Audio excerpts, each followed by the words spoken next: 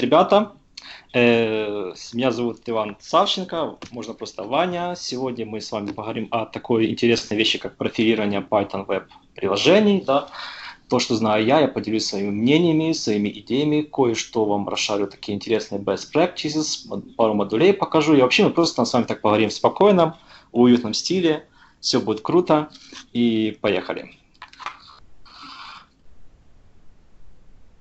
Слайд, потому что как мне это что-то показывать себе, говорить, когда кому это надо, когда мы говорим реально о интересной теме, но решил ставить, немножко сказать о себе, что я люблю Python, я 8 лет учился на программиста, но все это время я только сортировал массивы на разных языках, да, вот так вот сейчас.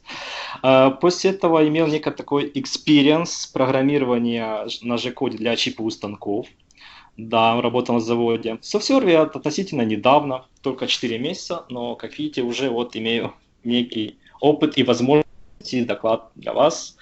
Э, я абсолютно не знаю, как левелапить левелапить GitHub, и это моя проблема. Поэтому, если у вас будут какие-то решения, либо помощь, пожалуйста, пишите мне мои social аккаунты, я обязательно выслушаю. Ну, я безумно люблю мемы.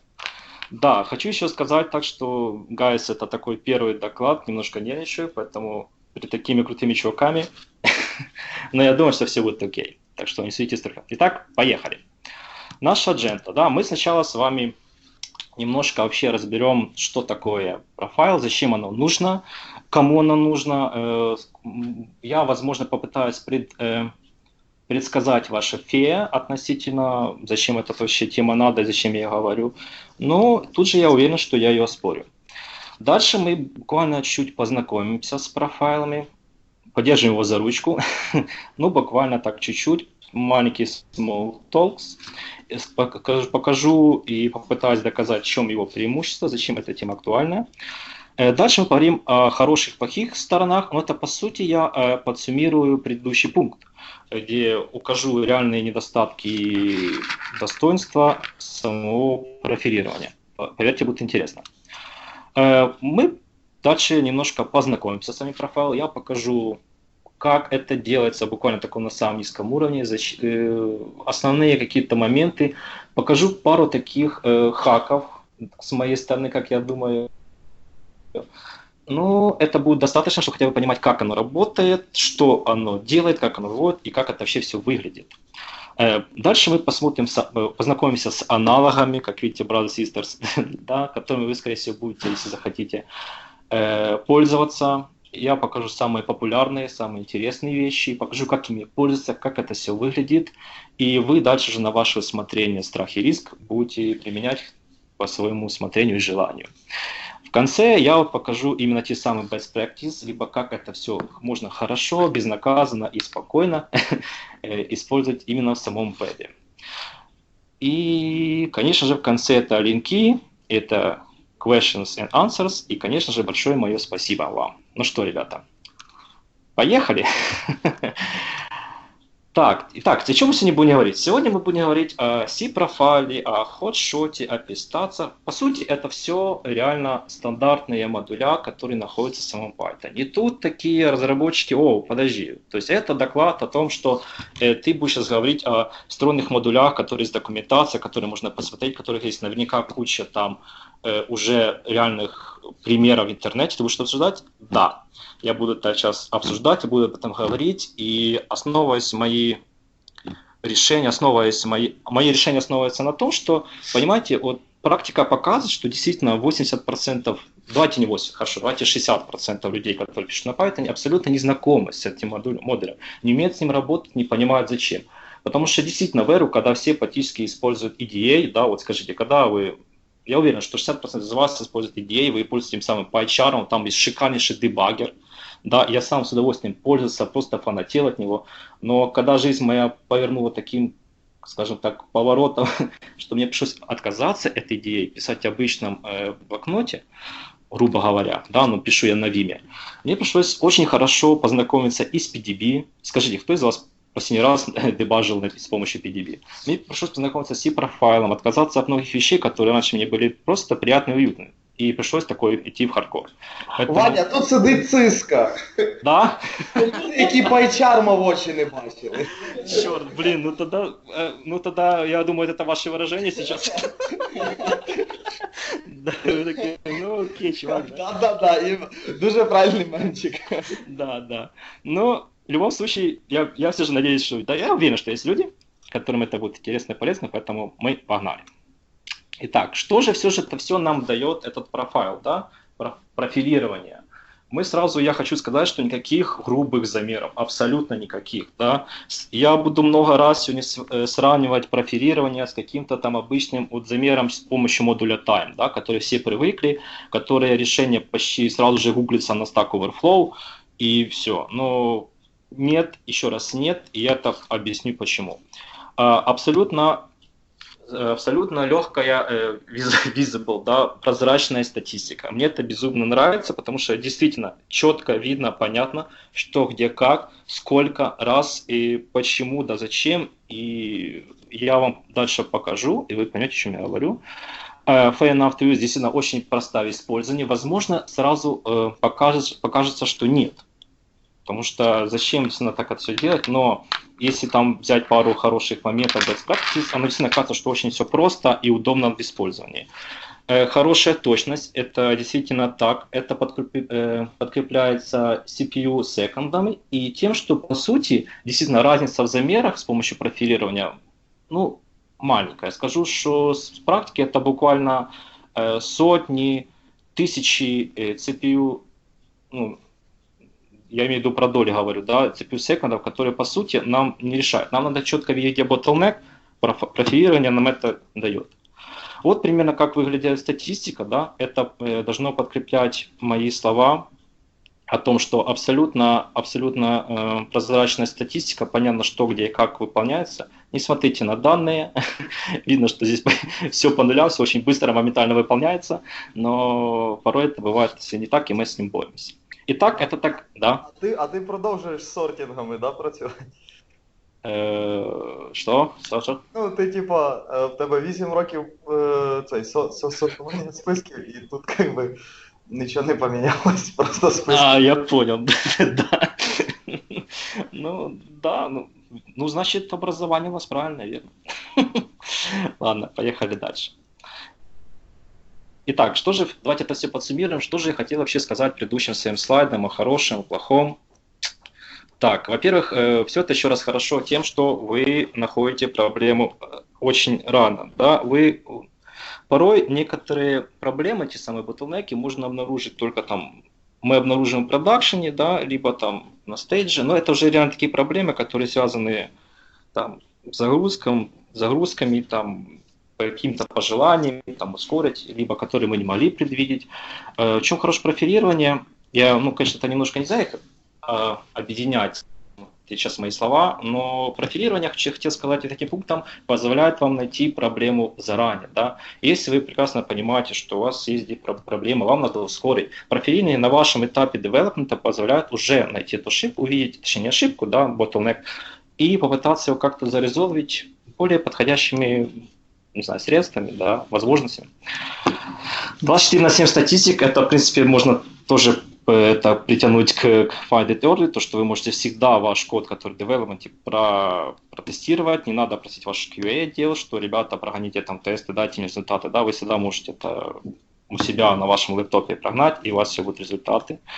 Uh, постоянный white это о том, что я вот как раз говорил, что очень многие э, видят решение через модуль time, но модуль time бывает очень неточен, он очень много чего зависит, и он вам не даст так будет реально детализированную статистику, и данные, метрики, которые, ну, да как.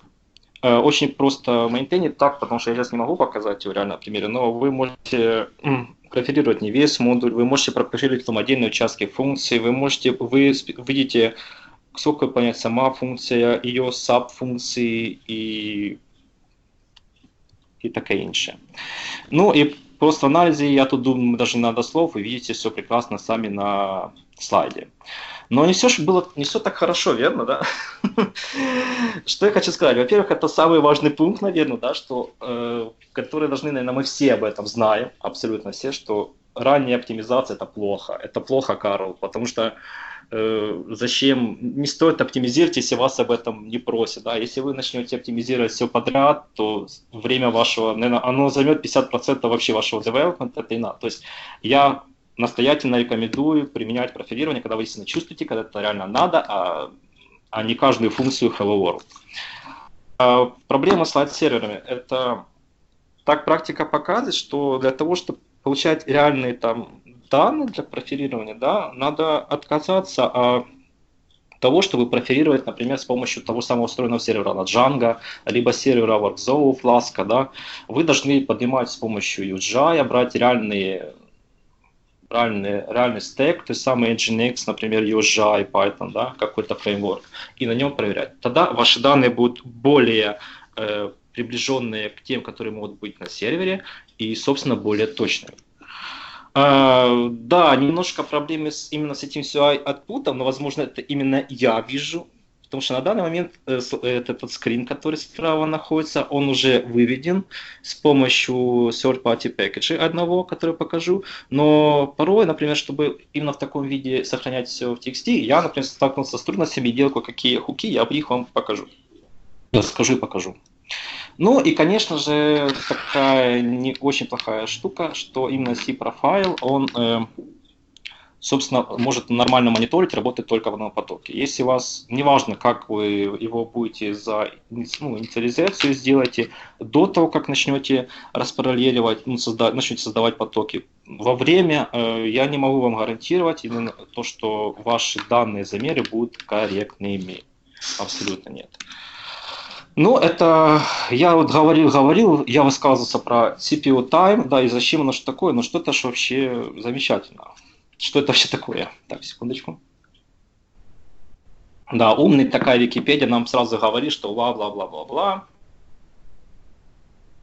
который ваш э, CPU потратил на выполнение этой задачи, что э, это так-то и так-то. Но что это нам дает? О чем это говорит? Это нам говорит о том, что вне зависимости от того, насколько будет загружен ваш компьютер, э, что на нем там делает э, как Николай с, с другого отдела, да, на вашей девиенке, как он грузит ваши ядра, у вас всегда будет статистика, она и та же, и точная, вне зависимости от нагрузки компьютера, ваши данные, метрики именно CPU, эти seconds будут одинаковые. Если вы будете брать какой-то time-модуль, да, он вам даст фактическое время выполнения.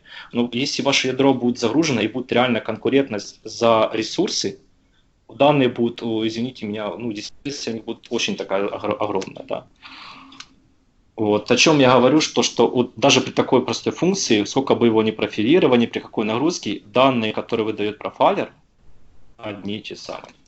И поэтому это очень-очень круто. Это реально те данные, на которых можно положиться, которые можно показать своему техлиду, сказать, эй, чувак, смотри, я решил проблему, и, и я готов это доказывать.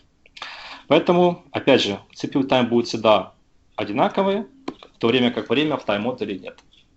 Поехали дальше. Да, теперь мы будем знакомиться, как это все работает более детально, посмотрим разные варианты использования. И я пытался обходить их все, но далеко не все. Я ненавижу доклады, которых просто перечисляют документацию. Я считаю, это не, на, не надо. Если захотите полезть более ну, глубже в тему, вы всегда можете зайти в сами доки, посмотреть, как это все работает. Я покажу основные моменты, как оно все работает. Да. Первый момент мы просто профилируем с помощью модуля какой-то PI-модуль. Впоследствии будет формироваться сразу же э, стати статистика, которая находится здесь, и выводиться сразу же в консоль в таком же виде, да, через функцию, через, собственно говоря, через оператор print stats. Э, здесь мы используем тот же самый наш модуль профилирования, но вместо того, чтобы выводить данные в консоль, мы их сохраняем в неком файле result с расширением stats. Об этом расширении я поговорю немножко дальше. И почему именно stats здесь пишу. Третий момент мы помощью Py с помощью пайпов записать вариант, который, результат, который мы видим ниже, сразу же просто файл результат с расширением prof. Опять же, я, я дальше объясню, почему я так делаю. Дальше это использование непосредственно в самом Python. Да, как это у нас должно работать и какой, как, как должно выглядеть. Мы сначала инициализируем профайл, C-профайл, профайл. Думаю, кстати, все э, не следует объяснять либо останавливаться, что в Python есть модуль профайл, есть C-профайл. Думаю, разница понятна, что C-профайл написано C, зато он быстрее. Дальше мы его активируем. Это значит, что весь следующий э, код, который будет выполнен интерпретатором, будет профилирован. Профайл мы потом выключаем. Например, просто выводим данные на нашу консоль, в наш интерпретатор. Последующая же функция, например, profile data сохраняет э, профилированный результат, но уже в формате, увы, stats. Ну и еще надо заострить свое внимание на ходшоте. Я не знаю, почему он как-то так ушел на задний план по сравнению с C-профайлом. Ну, я, сейчас сказать, с ним не особо пользуюсь, но думаю, э, рассказать о нем пару слов тоже надо. Но, как видите, по сути, он реально действительно аналог. Достоинство и, не знаю, хорошее, плохое по C-профайлерам я не могу сказать. Увы, это, это не подготовил. Но, ну, окей. Да, форматы, о которых я вам говорил. Помните, я говорил, что проф и статс. Так вот, э, да, увы, профайлер, если вы будете дампить даты, сохраняет э, это все в файле, э, скажем так, ну я называю это расширение статс, но сохраняет все в таком виде. Да, это все потом может быть спокойно быть подгружено с помощью модуля IP stats в Python, и все также может быть выведено в консоль, вы можете это проанализировать, но в общем, опять же, а как-то от, от э, интерпретатора тяжело уйти. Профайл же, extension, как я назвал, это вот такой вот вид, который уже эм, э, распарсен, который уже, уже ну, есть, который ну, в хорошем UI виде, да, который можно реально брать, анализировать и работать. Вот. Поэтому давайте договоримся, что если сохранение статс в статс формате, это вот такой вот формат, это содержимое файла, в котором, собственно, находится это файл для анализа потом с помощью модуля pstats, а когда профайл, это уже реальный, грубо говоря, txt, с которым можно брать, открывать, анализировать. Да, и это вот как же мой такой вот хак, как э, сделать ну, нормально брать и сохранять, например, статистику с помощью модуля C-Profile не в формате stats, а брать именно уже в таком текстовом формате, который мы видим, с помощью э, функции предстат. Я хочу напомнить, что вот это ее вид, примерно, который мы видим в интерпретаторе. Я не уверен, что это действительно все хорошо, но этим пользуюсь, признаюсь, и нареканий у меня нет. Э, чем я воспользовался? Я воспользовался тем, что у модуля PStats, когда ты сформиру... делаешь инициализацию статов, да, можно указать стрим, куда, собственно, будут выводиться данные. И я использовал буфер, с помощью printstat его заполняю, и потом файл, который я хочу, чтобы он был у меня же статистика, я его с помощью заполняю, записываю уже собранной, собранной статистикой, ну, профилированными метриками. Звучит как хук, оно и выглядит как хук, я не знаю, может даже велосипед, но оно работает. Да, я вирішив цим методом поділитися. А в мене питання: а чого не можна в якості стріма вказати open file? Mm, ну, сразу, сразу? Да. Ну, в стрімах і в файла, ну, вони використовують одну API, і в них у всіх є write. Ну, типу, це стандартна, е, ну, стандартні методи стріму. Попробуй в, в PStat stats вказати якості стріма, ну, типу, with open, as да. file, стрім дорівнює stat file. Я понял. що в тебе вийде. Бо, ну, типу, реально, ну, типу, в даному випадку дійсно виявляє, ну, типу, looks like a hack. Ну, попробуй. Да, интересно, я попробую передать файл object и просто сюда и попытаться сделать принстацию. Окей. Ну, это какой-то. Спасибо, Саша, я попробую, даже сейчас запишу все. Окей, ну, мы не будем от, от этого останавливаться, поехали дальше. А, опять же, я что-то напоминаю, что файл остался в формате, который мы хотим от него избавиться, но об этом я уже сказал. Давайте знакомиться с метриками, которые дают нам профилирование. Ура! Да, итак, поехали. Number of calls, да, думаю, это понятно. Сколько этот, э, нашу функцию мы вызывали во время профилирования, то есть прохода нашего модуля. Тут понятно. Total time – это сколько вы, функция в сумме выполнялась, но не учитывая, получается, вызов э, саб-функции, то есть функции, которые были вызваны внутри функции это полезно порой, вы, когда вот ну, э, это полезно будет потом э, с помощью тайма следить именно bottleneck, а total time, total time уже непосредственно покажет, где у нас проблема. Но по сути, думаю, даже писать надо, что это, опять же, это общее время потраченная функция на выполнение ее, э, на, ну, то есть это этих колов, но без вызова сабфункций. Перкол, первый, который я назвал один, это просто получается, сколько мы, сколько потратилось время на, за один раз на выполнение этой функции без вызова сабфункций. Вот. Cumulative time, да, это уже полный, э, получается, э, противоречность total time. Если мы говорили, что total time это время выполнения саб э, функции выполнения, то э, counttime же, собственно, уже включает это время. То есть, грубо говоря, если у нас будет local pipe, например, да, у него он будет сам выполняться 5 секунд, а здесь будет 10, я буду прекрасно понимать, что есть, он вызывает некоторые функции, которые выполняются на 5 секунд больше. То есть он уже вызывает тот самый bottleneck, грубо говоря. Перкол второй это показывает по сути то же самое, что это, но он уже делает, делит непосредственно come time на количество к нему обращений. Фух. Ну и file name line number function это, собственно, детализированный разбор функций. Где-то было вызвано там, функция оператор. Ну, думаю, это тоже прекрасно все понятно. Вау. Так, давайте знакомиться теперь э, с аналогами, с друзьями профайлера, которые могут нам помогать профилировать наши приложения. Мне безумно нравится Line Profiler. Безумно нравится. Как он работает? Это просто, если вы не хотите полностью модифицировать ваш модуль, вам нужна такая функция, вы просто ставите декоратор перед э, нужной вам функцией, которую хотите профилировать. Вы раните такой вот скриптик, да. Ну, естественно, конечно, я не написал, что надо pip install line profiler. Вы раните такой скриптик, после чего вы просто его запускаете с помощью line profiler, да, то для вывода статистики и вуаля в интерпретаторе вы видите такой результат. Думаю, отличие вы видите уже сразу. Да? Он очень удобен, если вы хотите не по саму функцию посмотреть, сколько каждый оператор выполняется. Ага, а, ага, а здесь вот цикл зашло 31 раз. М по секунде 31 раз, блин, это много, да. В общем, это очень советую, когда вам надо непосредственно вот одну функцию взять, профилировать, четко понять, где и как. И, кстати, знаете, вот порой даже полезно для самих себя подобными вещами заниматься, чтобы видеть, какие операторы хороши, а от которых надо отказываться, да, и видеть ту самую, например, разницу между range и X-range. Япи. Помните, я вам говорил то, что очень плохо использовать C-профайл, когда у вас много тредов. Так вот, Япи вам позволяет этой проблеме избавиться.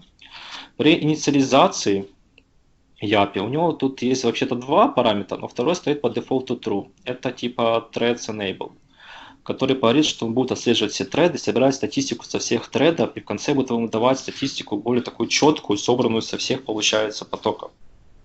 Что и есть круто для нас. Вот. А built-in true это либо false, это оператор, который говорит я статистику по уже вшитых операторах э, ну, в интерпретатор. Или не надо. Да? Ну, то есть это len, это те самые xrange и думаю, понимать, get атрибут, вот, million lines of code to different threads, и в конце мы собираем, мы останавливаем API, говоря ему, что все, молодец, давай ты собрал нам статистику, давай его сохранять. Мы создаем объект stats и сохраняем его в файле и type. Следует отметить, что type может быть разный. Э, call grind я об этом скажу потом. Э, P-stats мы с вами об этом говорили. Помните, что я говорил, что может быть либо мы решили брать либо stat extension, либо prof, то есть здесь мы сохраним его именно в stat extension, который можно потом с помощью внутреннего модуля pstat спокойно интерпретаторе загрузить и еще раз посмотреть. Вау. Да. Поїхали далі. Далі говоримо. А, перепрошую, і, і стат, і стат. Це ж це якийсь яківський формат? Да, це яківський формат. Ой, ну я сыря, я к нему, я его не трогал никогда даже, Саш. Мне хватало пистата, либо coolgrid, который я покажу дальше. Немножко тяжело мне было, я хотел сразу, например, таких вещах говорить, которые с помощью профилируем. Дальше у меня, например, пойдет, э, с помощью чего мы визуализируем эти статистики. Э, к чему я вел? Вел потому что подсуммируя, и стат всякие не могу сказать, что честно, я не пользуюсь, я использую CallGreen и PStat. Алло? Окей, окей. Да, дальше пошла тема о том, что мы поговорим о том, как очень просто можно эту статистику реализировать. Да? Хоть я говорю, что есть проблемы, но уже существует много решений, которые вам помогают эти проблемы обойти. Самый простой это C-профайл вид. Да, это обычно такой third-party package, который, который вшит просто сервер на ботле с помощью ботл, да. Вы, вы можете просто взять и двумя этими командами либо поднять э, сразу же на мод сервер, который будет э, профилировать либо модуль, либо уже с какого-то файла в stats формате, да, которым вы собрали с помощью вашего профайлера ранее. То есть вы можете собрать, там, ага, там есть файл, давайте посмотрим, как он выглядит. И у вас сразу же вы просто заходите на сервер, который поднимает, вам пишет, вы можете, конечно, указать хост, порт, и вы моментально видите статистику. Уже UI в вашем браузере. Есть сортировка по encalls, по to-time, per call, time, то есть все, что вам надо, здесь, в принципе, легко реализовано. Честно, юзаю часто, не советую и вообще уделяюсь этой штуке. Snake Viz, это, да,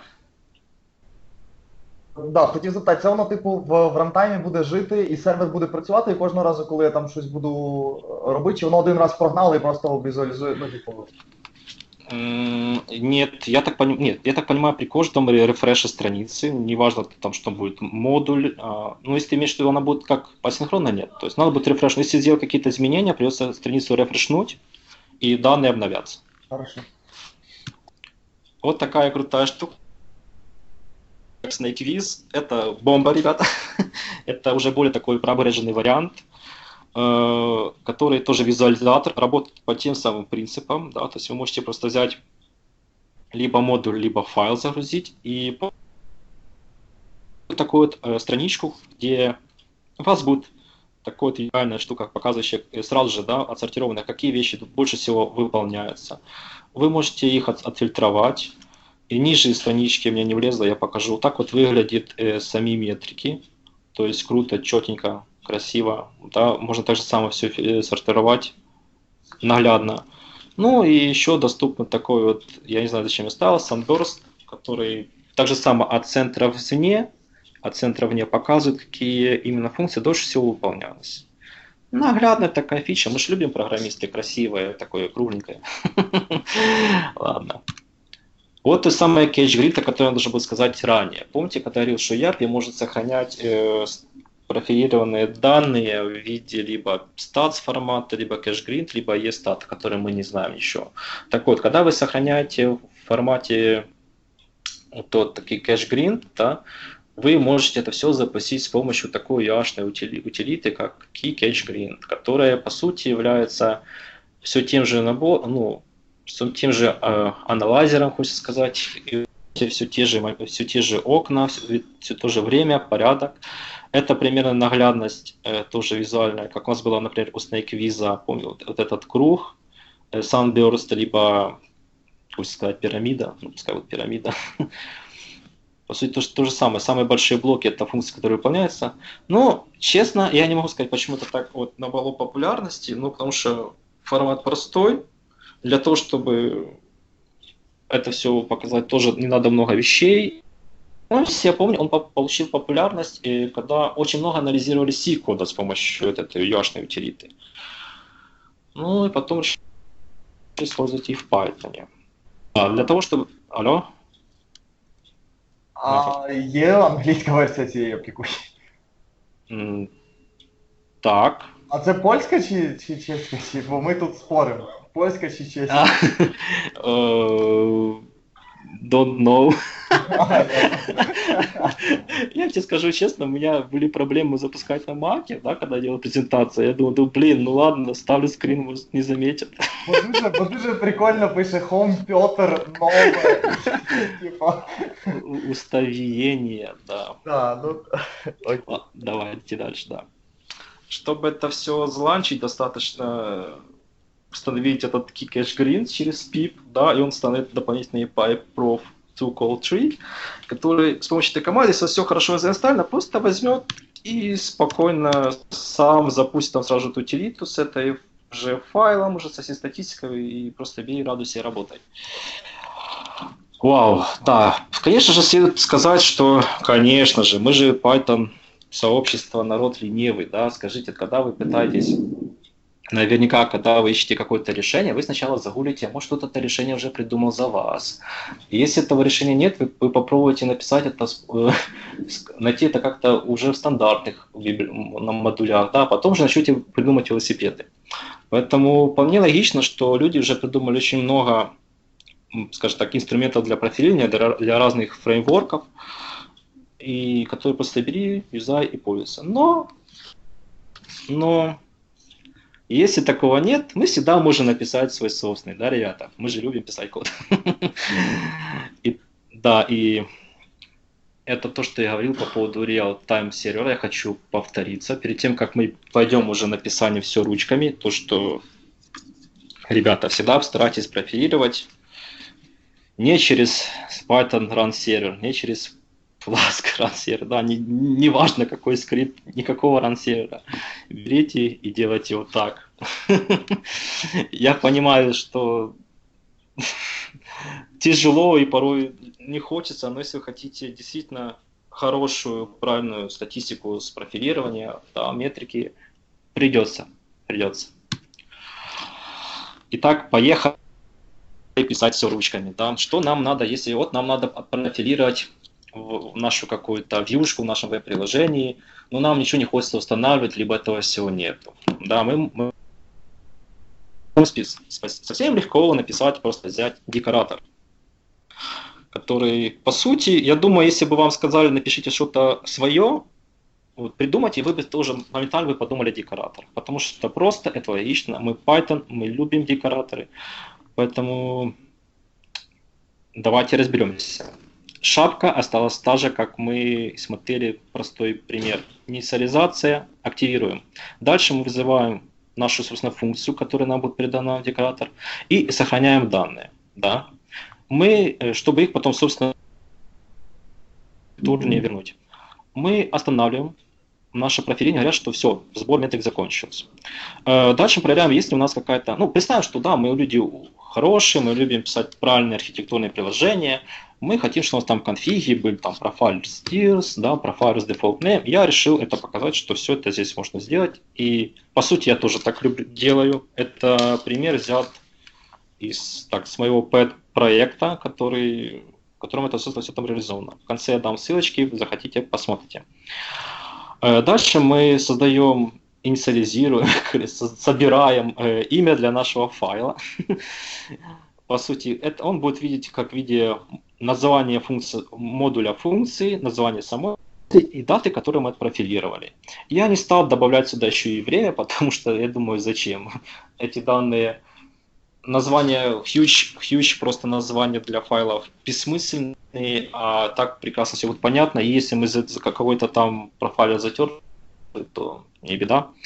Ну и в конце мы именно делаем тот самый dump stats с файл классом где сохраняем собранный нашим профайлером статистику в виде файла, э, кстати, тут неверно, с расширением stats.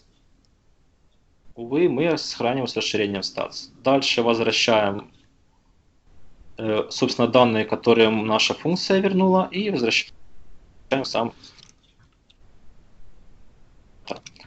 Использовать это очень просто. Да, думаю, есть какая-то функция, я, не, смотри, я просто взял эту функцию своего кода, я просто налепил сверху на нее profile this function, и буду знать, что вот при каждом обращении к этой функции будет собираться статистика от профайла. Э, стоит ли тут акцентировать внимание еще раз? Я, бы, я не хочу, чтобы именно вникали в весь код. Код, код как код. Да, кстати, вот я написал, что в конце будет вот такой вот файл, но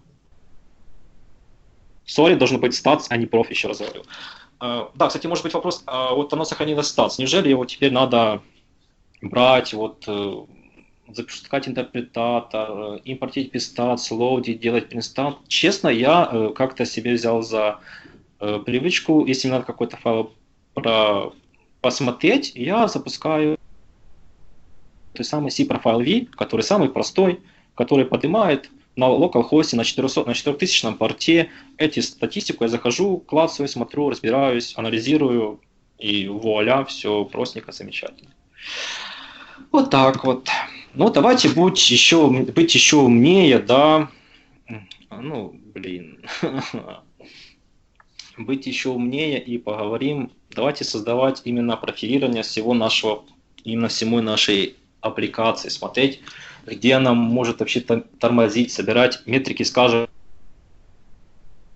ну не знаю, за 4 часа работы, да, почему бы и нет. Достаточно просто создать нашу middleware, которая выглядит подобным образом, прицепить ее на VSGI аппликацию, а в наше время это почти самых таких э, популярных, да, скажем так, протоколов. Поэтому давайте разбираться. Инициализация, понятно, да, аппликацию мы саму, application передаем, сохраняем ее, мы активируем профайл при инициализации, собственно, нашего middleware, и я решил, что было бы классно сразу сохранить файл pass, который будет генерироваться, чтобы постоянно эту функцию не гонять, и просто потом использовать его. Call стандартный по нашему протоколу, да, мы берем э, два, две переменных environ окружения, restart response. Мы, получается, даем наше приложение, говорит, давай работай. После того, как э, какой-то запрос обработан, мы, я считаю, сразу же сохранять э, профилированные данные файл. Вот. И у нас уже наглядно после каждого запроса файл будет обновляться, и, грубо говоря, статистика будет онлайн. Вы можете сюда посмотреть, зайти и увидеть, как все работает. Это, я признаюсь, я подсмотрел, но мог и сам додуматься, да, э, что когда наша аппликация умирает, сделать такой контрольный сейв. Процедура создания файла, точнее нейма, точно такая же, как и была прежде. Ее, кстати, внимание. Здесь там одна, один, один line of code, а я смогу его сейчас, пожалуйста. А, Ваня, просто е, на цьому слайді в тебе одне в докстрінгах тайпає в е, функторі. У... Метод call. Розсід. Розсід middleware. А, да. Черт. Ну, ну, ну ладно. Ну ладно, видишь, блин, заметил, Саша, я не знаю. Ну окей, давайте идти дальше, да? Тут есть вопросы, но думаю, тут все круто, понятно. Только тут должен был быть такой слайдик один. Черт, классно. Здесь вообще замечательно. А вот этот слайд я его нашел. Круто. Не очень.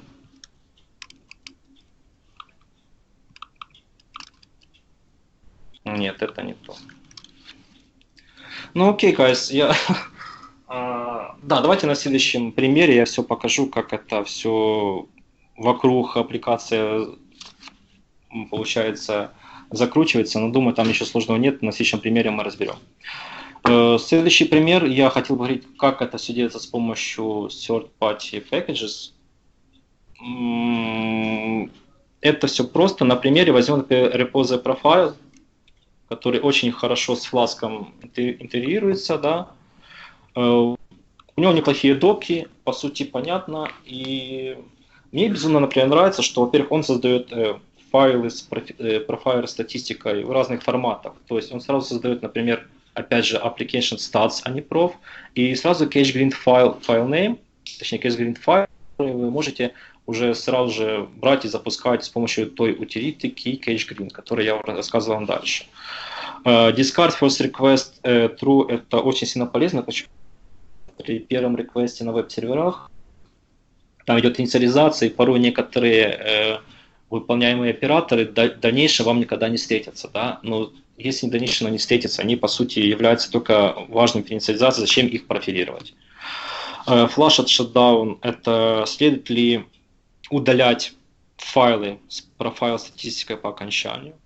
Pass – это я просто обожаю. Э, тут вы можете указать э, URL, с помощью, когда вы, с помощью которого вы можете на вашем сервере пройти и увидеть как раз все эти данные, э, профайл статистику, которые эта middleware собрала. То есть, по сути, реально наживо. Да. Unwind знаю, но на данный момент я вам не могу подсказать. Все это выглядит вот так вот.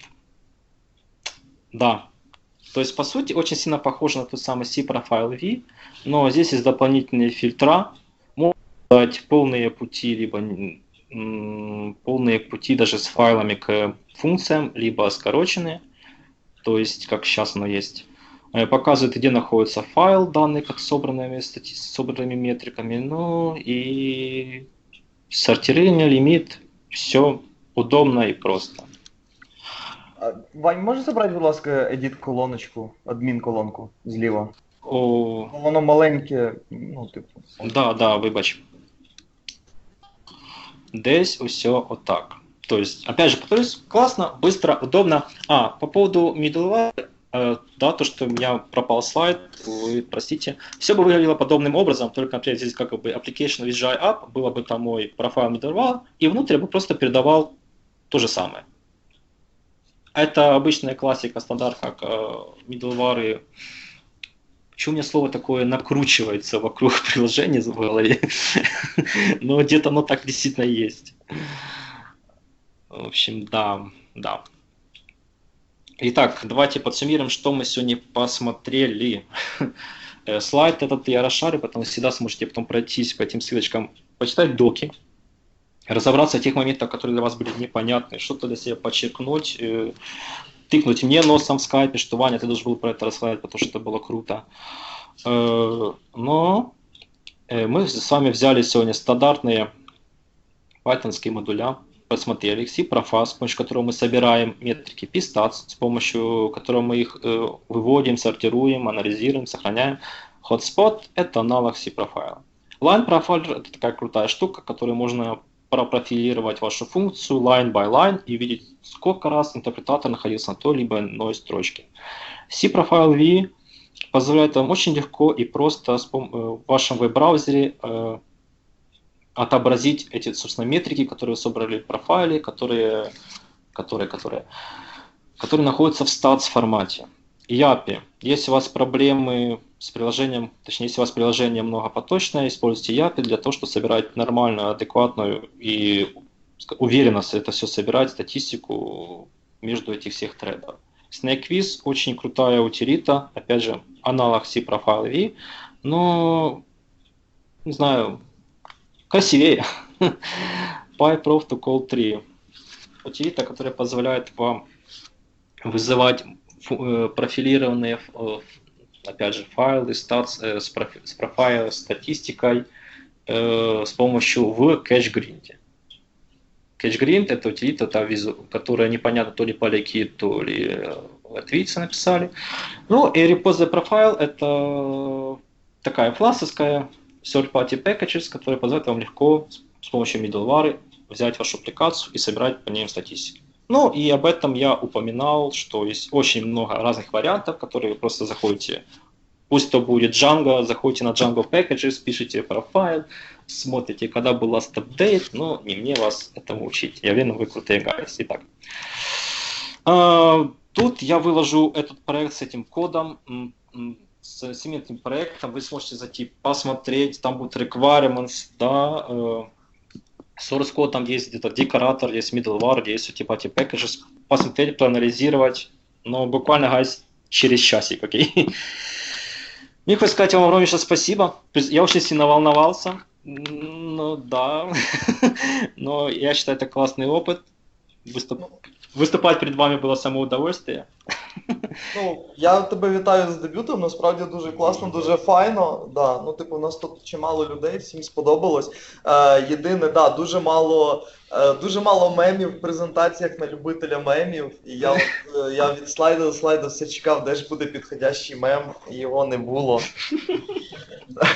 Я, если бы я знал, Саша, я бы где-то наш маленький уголочек бы оставил. Цього недостатньо, Ваня. Ну, КС з такою кількістю мемів не пройдеш. Це треба щось робити. А, ну, ну да, насправді дуже круто. А, єдине, а скажи, будь ласка, з тих всіх профайлерів мене, мене цікавлять візуалізатори, з чим ти працював? А, особисто, бо я так понял, с тем, с Колгриндом тебе не складно. Да, да, мне с ним не сложилось. Э, я очень часто использую C-Profile V, потому что мне он очень, очень сильно удобен. Mm-hmm. Он, ну, реализован сервер на ботле, Ты просто берешь, пишешь C профайл V минус F и указываешь путь к, к файлу статистики, который уже собрана, да, который ты знаешь, что собрано. Ты э, на локал хосте своем просто поднимаешь этот сервер, заходишь, смотришь, сортируешь, и все четко видно. Ну, але а, про, про, ну, діво, повторюючи моє питання попереднє, тобто, якщо в мене профайл запущений на рантаймі, в рантаймі, Мгм. і для того, щоб ну, типу, оновлювати статистику, мені треба там F5, правильно? Так. Я понял. Вже в еру веб-сокетів треба нажимати F5, я щось, блін, аж розчарований. Но все можно сделать своими руками, взять, написать это. Не понял. А розкажи ще, будь ласка, про Hotspot, да? От в чому його суттєва різниця від ці профайла? Ну, окрім аутпута прикольнішого. Блин, я знаю, что он вроде бы такой, знаешь, более старый, да. С- Сначала был хотспот вместе с профайлером, а потом просто взяли и написали C профайл. И люди говорят, ну окей, я говорю, зачем нам пользоваться, да, обычным на Python, если написано на C, который быстрее. Ты знаешь, кстати, вре- время есть, э, то есть, когда ты навешиваешь профилирование на что-то, время выполнения его увеличивается. Ну, сказать в чистых тяжело, но скажу на процентов maybe 15-20. Да, ну, Це солідно, насправді. Да, но велике, велике число.